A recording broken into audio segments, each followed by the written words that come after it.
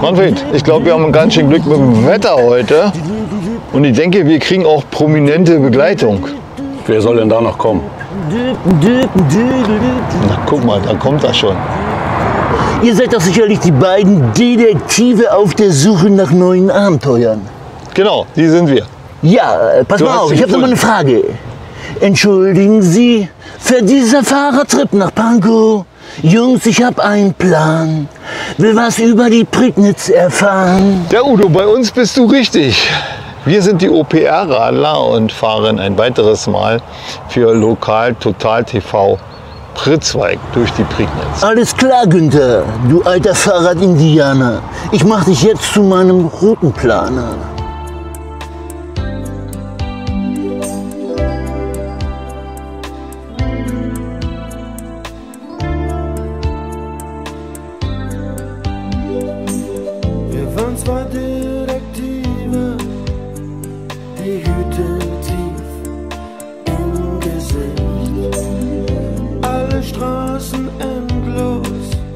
Barrikaden gab's für uns. Beginnend am Bahnhof sucht man sich erstmal einen Knotenpunkt. Die Prignitz ist durchzogen von lauter Knotenpunkten für Radfahrer und da kann man sich dann super orientieren, weil man keine Karte braucht. An jedem Knotenpunkt eine Karte und da gucken wir mal, wo wir heute lang fahren. Unsere Tour startet am Bahnhof. Einmal kann man mit der Bahn anreisen, zum anderen sind dort genug Parkplätze, um sein Auto abzustellen und sind jetzt hier am Knotenpunkt 82 fahren dann von der 82 die gesamte Polo-Tour ab und zwar einmal durch die Innenstadt, dann Richtung Giesendorf, von Giesendorf nach Kuesdorf über Mesendorf, treffen hier zum ersten Mal auf den Polo und dann entscheiden wir, ob es gleich nach Lindenberg geht oder ob wir erst nach Kleinwoltersdorf fahren.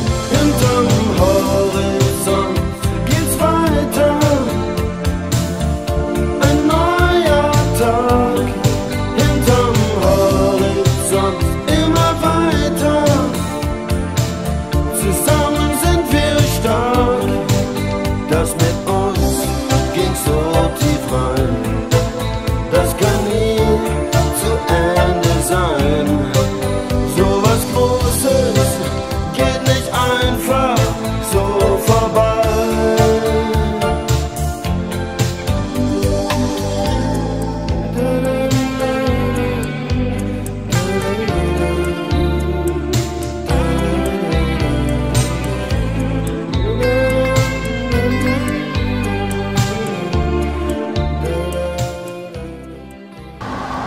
Manfred, Pritzwalk haben wir verlassen. Machen wir hier den ersten Stopp. Sind denn da schon die Gleise vom Polo? Nein, wie man sieht, natürlich nicht. Die Gleise vom Polo sind viel schmaler. Es ist eine Schmalspurbahn. Der Polo im Übrigen ist kein Hühnchen, wie der eine oder andere von euch vielleicht denken könnte. Es ist eine Kleinbahn, die hier durch die Prignitz fuhr. Ja, der Polo brachte die landwirtschaftlichen Produkte zu den Knotenpunkten der Region, also zu den großen Eisenbahnknotenpunkten. Und von dort wurden sie dann in die ganze Welt verteilt. Na dann wieder rauf aufs Rad.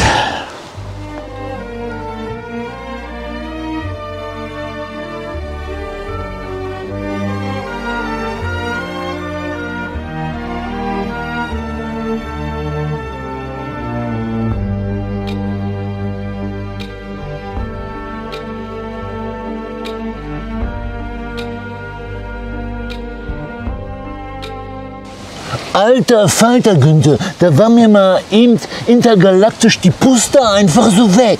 Ja, kein Wunder, wenn du dich den Berg hochquälst mit einer Hand am Hut, dass der nicht wegfliegt. Der Wind ist heute ganz schön. Wir sind hier auf der zweithöchsten Erhebung der Prignitz, sind über 130 Meter hoch. Ganz schön für diese Region. Und hinter uns die Kirche von Giesensdorf. Giesensdorf, Mitte des 14. Jahrhunderts erstmalig erwähnt. Die Kirche dann 100 Jahre später als Wehrkirche gebaut, konnte man sich hierher zurückziehen, wenn die Feinde zum Beispiel aus Mecklenburg lauerten. Und dann ist sie Mitte des 19. Jahrhunderts noch einmal umgebaut worden in der jetzigen Form. Die Orgel, die man dort drin sieht, ist im Übrigen auch eine Lüdgemüller-Orgel, der in Wittstock gewirkt hat, in Papenbruch geboren ist und über 200 Orgeln gebaut hat in seinem Leben. Der Großteil davon, der steht in der Prignitz. Es geht weiter. Ich bleib dein Begleiter.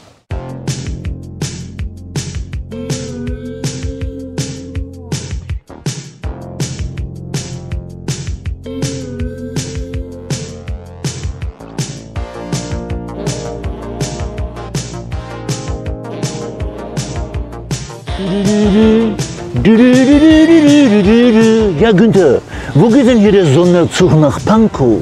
Hm? Sonderzug fährt hier immer, aber niemals nach Pankow. Der Polo hat Sonderfahrtage, meist am Wochenende oder aber an Feiertagen. Da kann man dann mitfahren, neun Kilometer bis nach Lindenberg. Und der Klaus, der war vor ein paar Tagen hier, hat ein wenig gefilmt und das schauen wir uns jetzt mal an.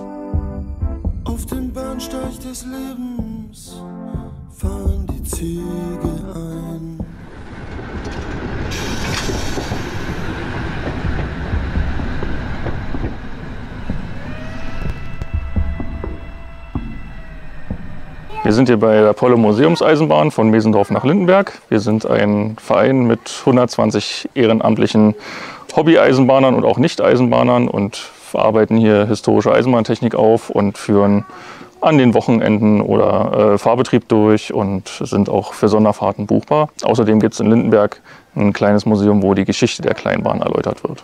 Ja, beim Polo ist historische Eisenbahntechnik also bis heute noch äh, erlebbar. Unsere Fahrzeuge sind teilweise bis zu 120 Jahre alt und äh, so, dass man also auch vieles an den Maschinen und den Lokomotiven selber machen kann.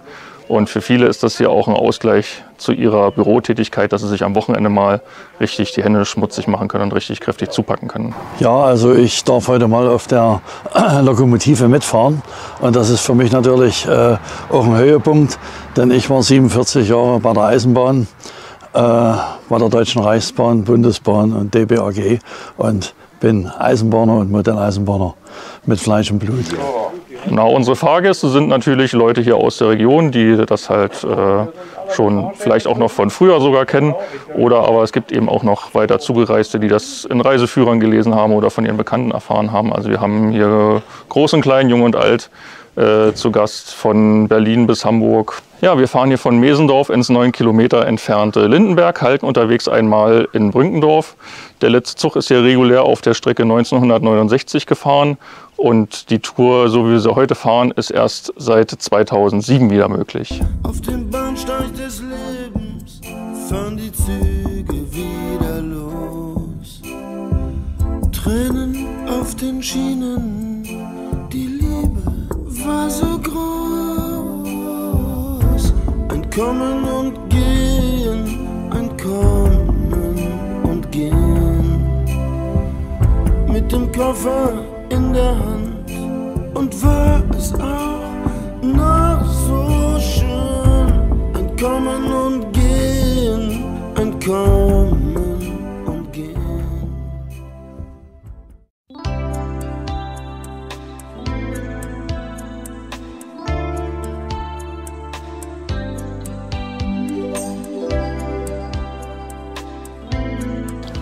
Auf den ersten Blick ganz schön verwirrend. Viele Schilder, viele Hinweise, viele Touren. Ähm, wir sind kurz vor Großwoltersdorf am Knotenpunkt 64 und äh, hier in Großwoltersdorf kann man wirklich ganz, ganz viel Zeit verbringen und viel erleben. Ob man ruddeln geht, ob man schwimmen geht, ob man zeltet, man kann durch, über den Naturlehrpfad durch den Wald laufen oder aber den Märchenpark besuchen. Es gibt dort ein Pavillon. Also die Möglichkeiten sind da, man muss sie nur nutzen und einiges davon wollen wir euch jetzt zeigen. Plötzlich bin ich wieder der kleine Junge, ganz spitz auf Lakritz, für den eine Expedition zum nächsten Block weit wie eine Reise nach China ist. Der kleine Robinson Crusoe auf Entdeckungstour. Meiner Mutter Hermine missfielen die Onkel Dr. Spiele und meine Schwäche für Whisky pur. Du, du, du, du, du. Na, das war ja bis jetzt eine richtig geile Tour, Günther. Aber ich habe gehört, du hast einen neuen Plan. Du willst mit mir auf die Sommerrodelbahn. Ich würde mit dir jetzt wirklich gerne Schlitten fahren. Aber wie es der Name schon sagt, es ist eine Sommerrodelbahn. Und in Großwoltersdorf geht der Sommer bis zum 30. September. Deswegen ist jetzt geschlossen. Die Bahn hat jetzt zu. Könnt es höchstens versuchen, wenn man eine Gruppe hat, vorher anrufen und anmelden, dann würde man vielleicht draufkommen. Wir sind keine Gruppe und müssen deswegen leider weiter. Na, dann los. Auf unsere Rösser. Wir sind die goldenen Reiter. ja. Da war so viel los, das Leben bestand ausschließlich aus Sensationen. Und jeder Tag brachte jede Menge fantastische Situationen. Einmal sind wir losgezogen, wir suchten das Ende vom Regenbogen. Wenn man die Straße von der Sommerrodelbahn hinuntergerollt ist, dann kommt man hinein nach Großwoltersdorf und gleich am Anfang des Dorfes findet man den Kinder- und Jugendzeltplatz Großwoltersdorf, betrieben vom Warberge-Verein, der auch die Sommerrodelbahn und den Lehrpfad betreibt. Hier auf dem Kinderzeltplatz findet man alles, was so Zelten ausmacht. Einmal hat man einen See mit einem sehr schönen Badestrand. Man hat hier einen Kiosk. Man hat äh, Hütten, in denen man übernachten kann. Eine sehr schöne Spielwiese, also alles, was das Herz begehrt. Allerdings, wenn man im Herbst unterwegs ist äh, und man möchte sich irgendwo stärken, dann muss man alles einpacken, weil die Verpflegungsmöglichkeiten sind wirklich sehr begrenzt. Komm hier, bleib hier links.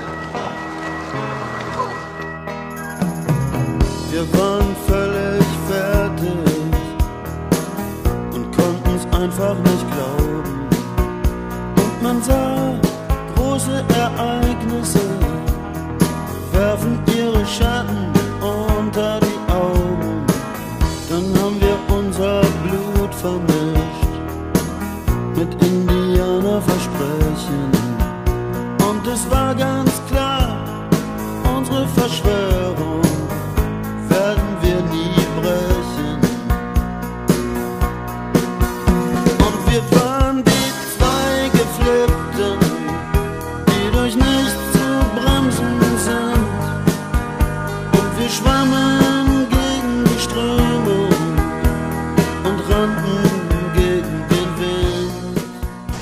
Der Polo, wie er liebevoll genannt wird, verkehrte in der Prignitz auf über 100 Kilometern.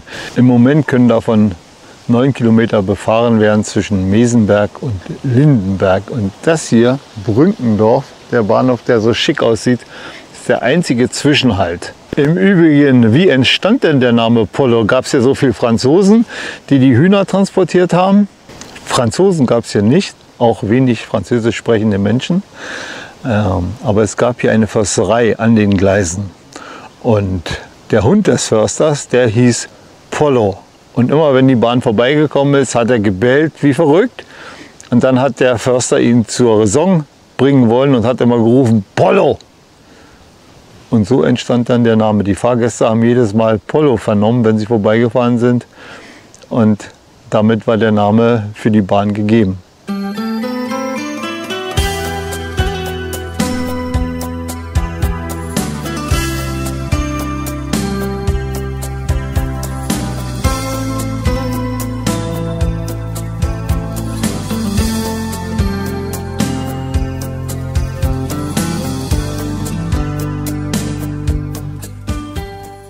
Ja, dann möchte der kleine Ode doch mal ein, bisschen tanzen hier, ja, unterm Lindenberg. Günther, das ist ja ein Schild mit meinem Namen. Ich denke mal, du kannst mir mehr dazu sagen. Ja, guck mal, einmal nicht nur dein Name, aber du wolltest ja unbedingt mit dem Sonderzug nach Pankow. Genau, genau hier ist sogar Großpankow und da fährt man nicht mit dem Sonderzug hin, sondern entweder mit dem Fahrrad oder mit der Kleinbahn, mit dem Polo, den wir schon öfter erwähnt haben. Mehr dazu erzähle ich dir aber am Museum. Alles klar, Günther, dann ab in die Pedale. Komm, Junge, gib Gas. Hobby, Galoppi. Wir fahren nach. Utopia.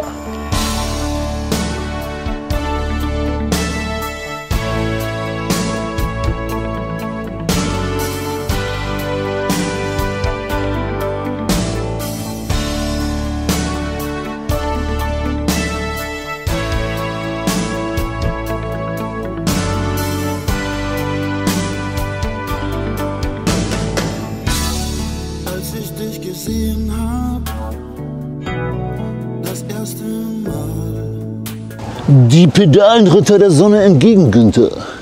Die Titane ging unter, doch hier in Lindenberg, da tobt das Leben. Ja. Genau, fahren wir ein bisschen langsamer bitte. Wir sind jetzt nämlich hier am Kleinbahnmuseum. Oh, das ist ja geil. Weil hier gibt es eine ganze Menge zu erzählen bestimmt. Das Kleinbahnmuseum, vor dem wir uns hier befinden, hat natürlich nur geöffnet, wenn auch Fahrtage sind. Dann fährt hier auch eine Feldbahn für die Kinder auf einer 500 Meter Strecke immer im Kreis herum. Und dieses Kleinbahnmuseum ist in einem der wenig erhaltenen Gebäude, die noch aus der Originalzeit sind. Die Eröffnung der Kleinbahn fand 1897 statt. Die Bauern der Region wollten, wie gesagt, ihre landwirtschaftlichen Produkte an die großen Strecken haben, die zwischen Berlin und Hamburg gingen oder zwischen äh, Berlin und Wittenberge. Und dazu war so eine Feldbahn super geeignet. An einem sonnigen Oktobertag wie heute, vor 124 Jahren, fand die Eröffnung der Prignitzer Kleinbahn statt. Und sie war dann bis 1971 im Betrieb. Danach verschwanden die Gleise ganz schnell die Bahneinrichtungen, die Häuser. Und erst 1993 hat sich ein Verein gegründet, der dann die Reste übernommen hat, die Lokomotiven, die Waggons. Und wer sich für die Geschichte des Polos und der Prignitzer Kleinbahn interessiert und deren Technik, der sollte unbedingt an einem Fahrtag diese Tour machen, die wir heute unternehmen. Informationen dazu findet ihr im Internet.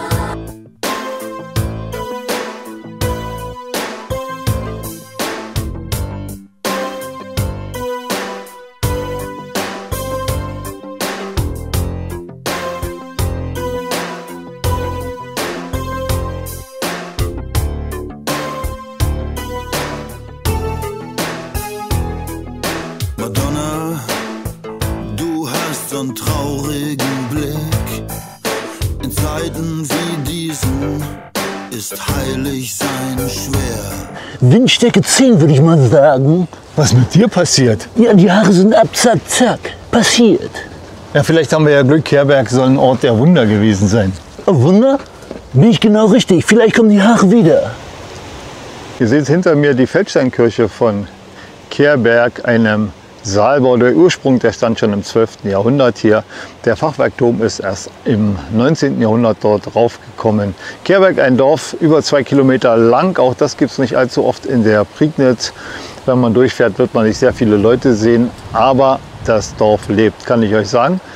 Äh, Hier sollen sogar Wunder passiert sein. Äh, Einem Jungen, der als siebter Junge in der Familie geboren wurde, hat man damals Wunderkräfte nachgesagt. Die Zahl sieben war für Wunder bekannt.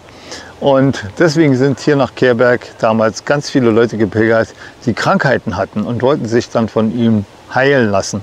Allerdings ist der Junge nicht allzu alt geworden, demzufolge waren seine Wunderkräfte wohl auch nicht allzu groß. Zumindest hat er sie nicht für sich anwenden können. Also Günther, mein alter Fahrradindianer, das war wirklich eine mega galaktische Tour, die du da mit mir gemacht hast. Alles klar. Und die Tour ist noch nicht zu Ende. Wir haben noch ein wenig zu fahren, also es liegt noch einiges vor uns. Aber ich würde mal sagen, wir fahren der Sonne entgegen und singen ein bisschen Horizont, klar? Ja, sing du mal. Horizont geht's Meine weiter. Stimme gibt es nicht her, die Leute sollen ja Komm, gucken. mal ein bisschen Lala, komm. Lalala ist für alle anderen. Die können dann Hinterm mittrallern. Horizont Viel Spaß dabei. weiter. Komm, mach mal ein bisschen lalala, komm. Nee, ich habe Die alte Lerche, komm, die alte Lerche singt. Geh raus jetzt hier, Komm. verschwinde. Da kannst du singen, ganz alleine hinterm Zaun. Manfred, ich glaube, es fängt gleich an zu regnen. Lass uns auf die Räder setzen. Wir haben noch einiges an Kilometern vor uns. Du musst mir noch eine Frage beantworten, Günther. Wer war der Herr Lindenberg, der mit uns gefahren ist? Du kennst Herrn Lindenberg nicht? Nein. Manfred, Nein. Das Dorf Lindenberg, das hat mir gefallen, das war schön. Aber der Herr Lindenberg, komm, lass uns fahren. Nimm dein Fahrrad und dann äh, lass uns fahren. Ja, Halt. komm.